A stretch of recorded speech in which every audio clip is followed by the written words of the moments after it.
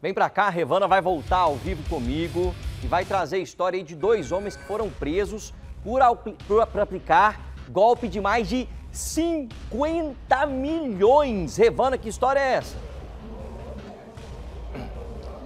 Pois é, Branquinho, vários produtores rurais acabaram vítimas dessa, dessa situação. Né? A polícia recebeu a informação que dois homens estavam praticando esses golpes lá em Barro Alto, no Vale do São Patrício, e começou a fazer as investigações. Então chegou a esses dois homens e aí, juntamente com eles, encontrou vários cheques, procurações, dinheiro em espécie. E aí essas investigações ainda continuam em, em andamento porque uma terceira pessoa está foragida. Por isso a polícia não deu muitos detalhes de como esses estelionatos aconteciam.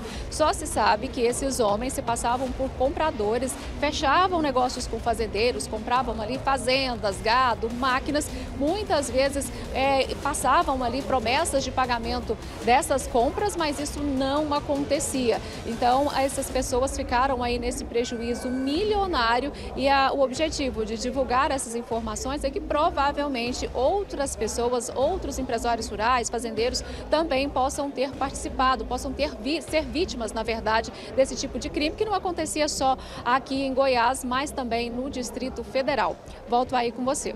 Muito obrigado, Revana, trazendo as informações completas. Valeu!